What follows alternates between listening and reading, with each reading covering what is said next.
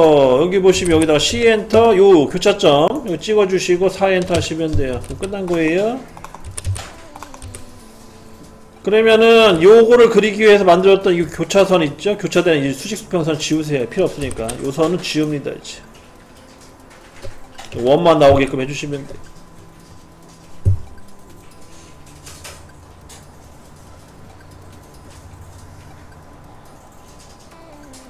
그리고 이 원을 또 옵텟 하세요. 5mm만큼. 5 엔터, 숫자 5 엔터. 그래서 이 원을요, 바깥쪽으로 5mm만큼 옵셋 시켜주시면 됩니다. 그러면은 거의 다 완성된 거예요, 형상. 이렇게 이제 마무리 주시면 되겠고. 그 바깥쪽으로 5mm만 복사하면 되는데 네, 바깥쪽으로 빼주세요. 우선 여기까지 만들어 놓고, 아, 나는 좀 복잡해, 머리 아파 그러면 트림을 이용하셔서 다 자르지 마시고요. 너무 삐져나온 것들 있잖아요. 좀 너무 불필요한 것들만 우선 쳐주세요. 예를 들어서, 이런 거 필요 없잖아요, 사실. 쳐주시고, 이쪽도 필요 없으니까 쳐주시고, 얘도 필요 없어, 안 했거든. 아, 요건 필요하네. 얘가 필요 없는 거네, 요거. 요게 필요 없는 거고. 이렇게만 쳐주셔도 되겠죠. 얘도 필요 없는 거예요. 이렇게만 우선 작업을 해주시면 돼요. 적당하게 이제 필요 없는 것도 다 잘라내 주시고. 여기도 필요 없겠네요. 이것도. 이것도 필요 없고. 그 다음에 이제 보조선을 그릴 거예요. 보조선은요, 어, 수직선 38, 수직선 18, 총 두 개 그릴 거거든요. 라인 명령 이용하시고, LN터 하시고 38짜리 하나 그릴 거고요. 그 다음에 18짜리 그릴 거예요. 이거 직교보드 활성화 시키세요. 그래 편하니까. 자 그러면 우선 여기 라인 명령어 치시고요. 여기 교차점 있죠 지금? 눈 뒤쪽에는 수직선 교차점 찍어주시고 얘를 기준으로 밑으로 와서 첫 번째 38 엔터 두 번째 18 엔터 하시면 돼요. 선 두 개 그려주시면 되겠고 그 다음에 이 선은 지우세요 이제 요 보조선. 맨 처음에 그렸던 보조선 있죠 요거 요거는 이제 필요 없으니까 지워버리시고 선이 이렇게 남을 겁니다 자 색상을 좀 달리 할게요. 여러분 좀 헷갈릴 수가 있으니까. 여러분 색깔 바꾸지 마시고. 바꾸셔도 되는데 왜냐면 이게 중간에 선이 끊겼기 때문에 점을 잘못 찾을 수도 있어요.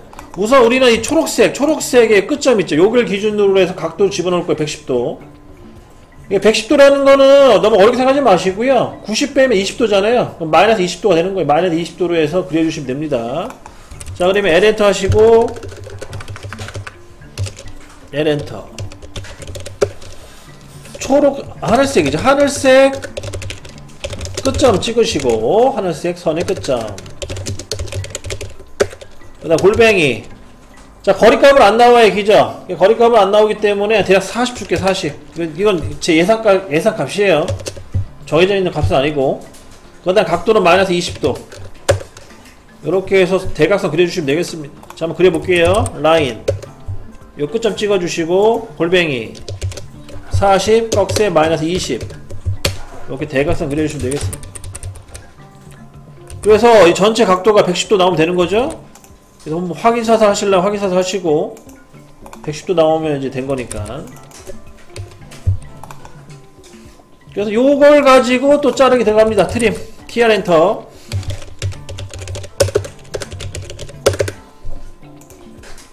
자 엔터 자르기 명령 들어가세요. 자를 때는 바깥쪽서부터 잘라서 주세요. 그래야 다 자를 수 있으니까. 이런 식으로 해서 작업을 TR에서 두번. 예 DR에도 두 번이에요. 이렇게 해서 마무리 해주시면 됩니다. 이 선은 이제 필요 없는 거지 이제 다 했으니까. 요 코 부분 있죠? 이 코를 오른쪽 왼쪽이네 왼쪽은 8mm만큼 옵셋 시켜 주시고. O 엔터 그 다음에 8엔터. 그래서 왼쪽 방향으로 클릭해 주시면 되겠죠? 수직선 클릭하시고 왼쪽 클릭. 자 알파벳 O 엔터. 그 다음에 숫자 8 엔터. 이 선이 요 선. 요 선. 요 선을 왼쪽으로 8mm만큼 간격을 띄워주시면 돼요. 그리고 요선은 요선 어떻게 해야 돼 요선은 선 연결시켜줘요 이렇게 어, 연결시켜 주시려면 이제 EX 기능 쓰시면 되겠죠? 이스탠드 EX 기능 쓰시고 EX 엔터 연장하기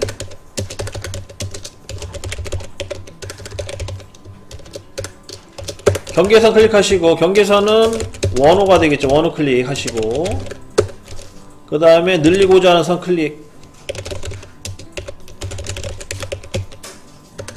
잠깐 엔터 중간에 들어가나요? 엔터 한번 치셔야 수도 있겠네요. 한번 해볼게요. EX 엔터 치시고 그 다음 요거 원호 원호 클릭해 주시고 엔터 그 다음 늘리고자 하는 선 클릭하면은 이렇게 늘어나죠. 깔끔하게 연결시켜 주시면 되겠습니다.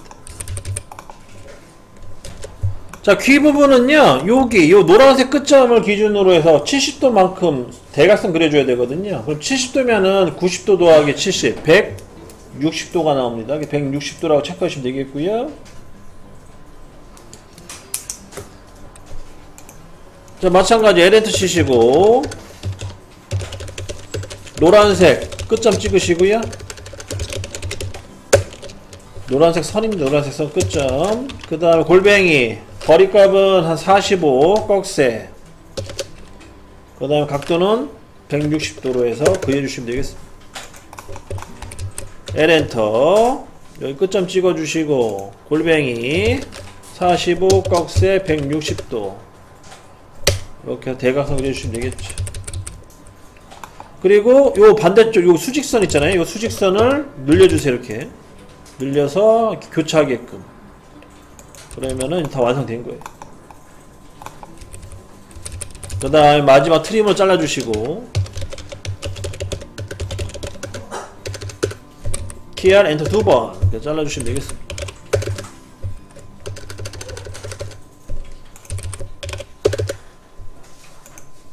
음, 이렇게 해서 마무리.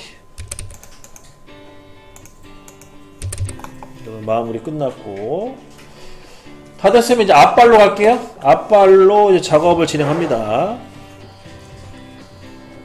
앞발은 우선 이 바닥에 있는 수평선 있잖아요. 얘를 좀 늘려주세요 옆으로. 좀 길게 늘려주시고.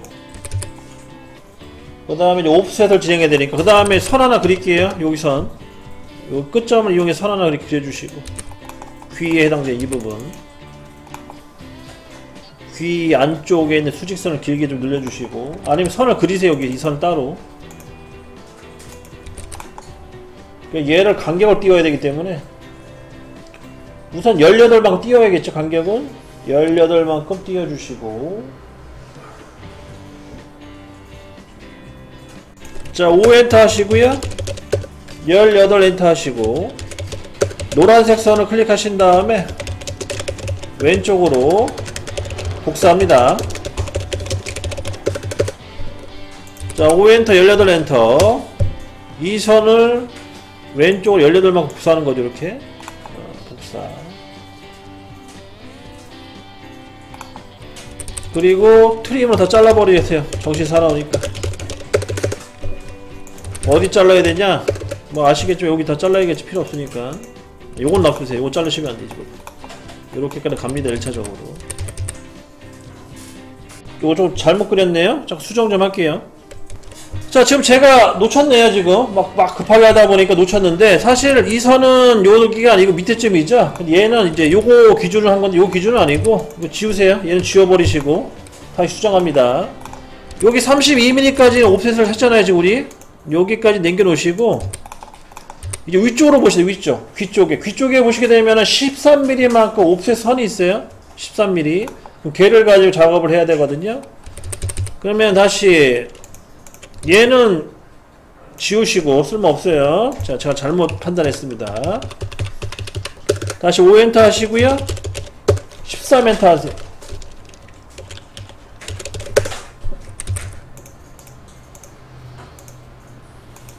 이 선이죠? 이 선을 왼쪽으로 옵셋 하시면 돼요. 노란색 선 클릭 그 다음 13mm 어, 왼쪽으로 이동이죠 왼쪽으로 복사 5엔터 13엔터 요 선을 이렇게 복사합니다 그 다음에 이 선을요 밑으로 연장씩 쭉 내리세요 이렇게 길게 여기를 역으로 해서 반대로 이제 계산에 들어가시면 돼요 그러면은 이제 대각선 그려지는 거죠. 얼굴 연장. 야, 요거. 예. 복사된 선은 연자.